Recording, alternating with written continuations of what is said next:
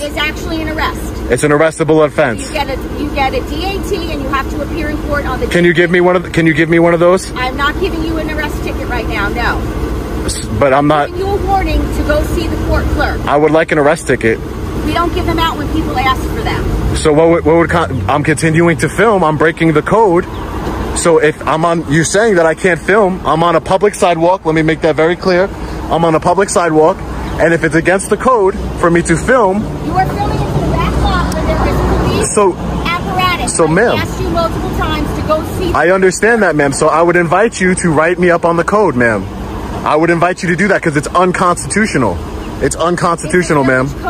It's unconstitutional, and I would invite you to write me up on it. Village property. I am not. I am not. I am not even on village property anymore. Well, the sidewalk technically belongs to the village. It, it belong technically belongs to the people, ma'am.